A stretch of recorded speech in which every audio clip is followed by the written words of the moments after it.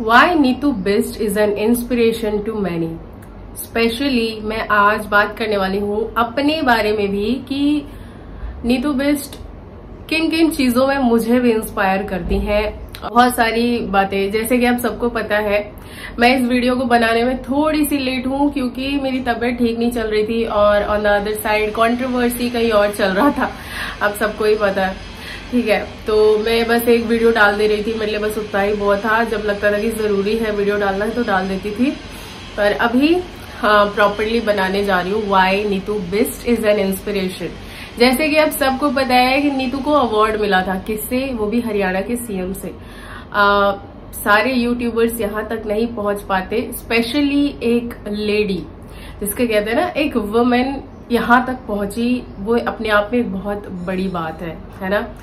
और मैंने जहाँ तक देखा, और जब मैंने उनको देखा, ये अवार्ड रिसीव करते हुए, खैर मैंने इंस्टाग्राम पे उनकी पोस्ट एक दिन पहले ही देख लिया था ब्लॉग बाद में आया, पर जब मैंने ये देखा, मुझे इतनी ज़्यादा खुशी हुई। खुशी के साथ साथ पता है 50 परसेंट खुशी और 50 परसेंट मोटिवेशन मिला यार, कि इंसान क्या नहीं कर सकता अपनी लाइफ में? बस इंसान को जुनून होना चाहिए, है ना? एक, अगर मैं बताऊँ तो नीतू एक अच्छी बहू, एक अच्छी बेटी और एक अच्छी इंस्पिरेशनल वुमेन है। हर उस लड़की के लिए जो उनके ब्लॉग्स को देखता होगा। अब कुछ पॉइंट्स मैं अपने बताती हूँ कि मैं उनसे किन किन चीज़ों में इंस्पायर होती हूँ।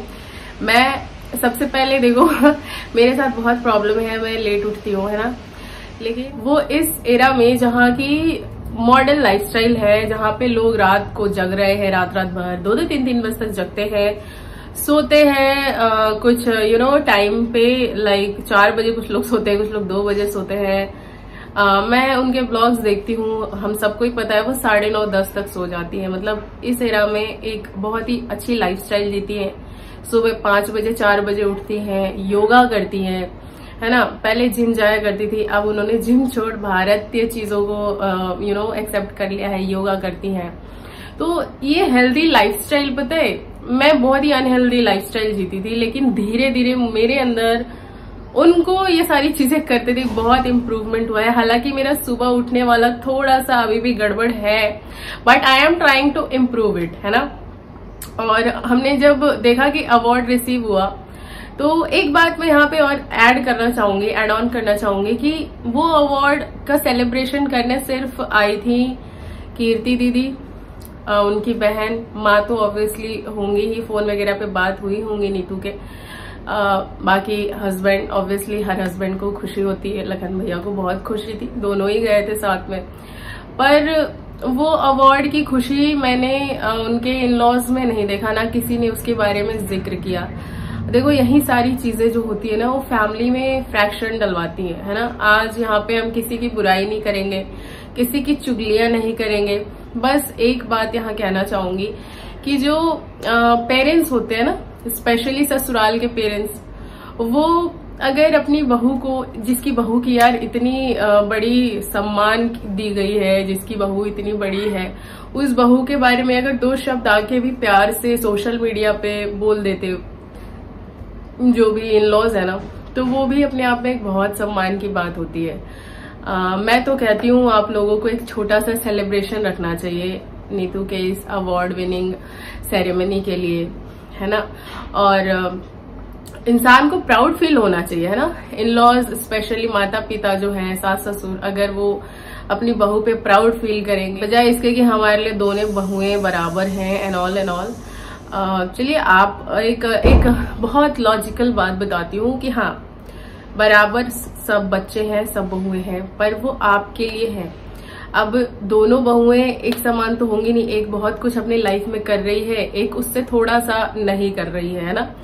तो जो बहू ज़्यादा कर रही है उसको उसके हार्डवर्क की एप्रिसिएशन तो अपने सास ससुर से मिलना ही चाहिए, है ना?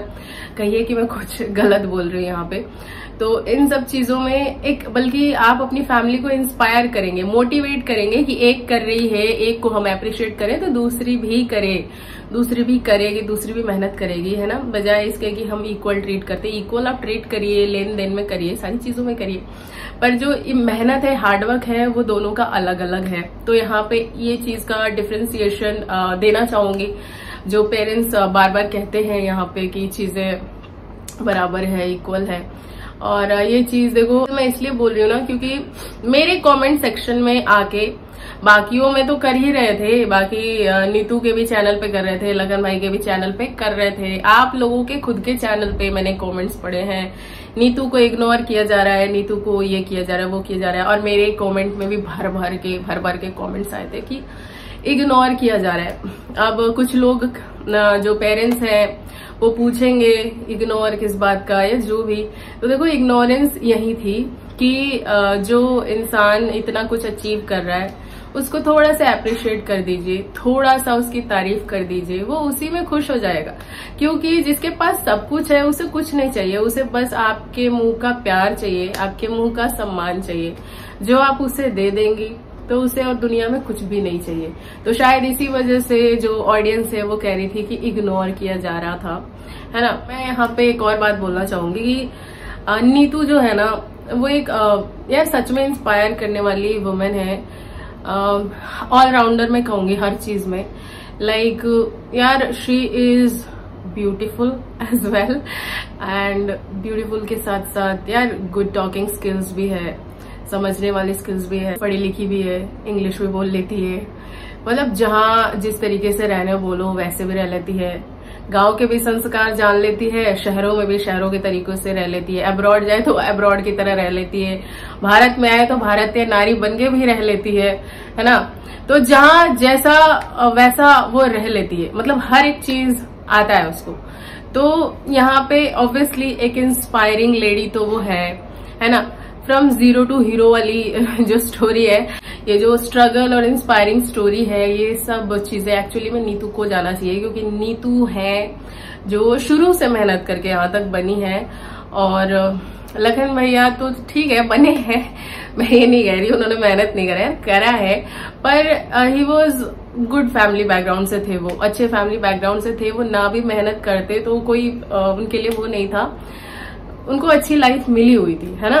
पर Neetu was from middle class to आज बहुत ज़्यादा रिच तो एक्चुअली में मेहनत हम वहाँ कहेंगे कि मेहनत उन्होंने करा है काफ़ी ज़्यादा करा है. सो so, uh, ये वीडियो आपको अच्छा लगा हो तो इस चैनल को लाइक और सब्सक्राइब करते हुए जाना.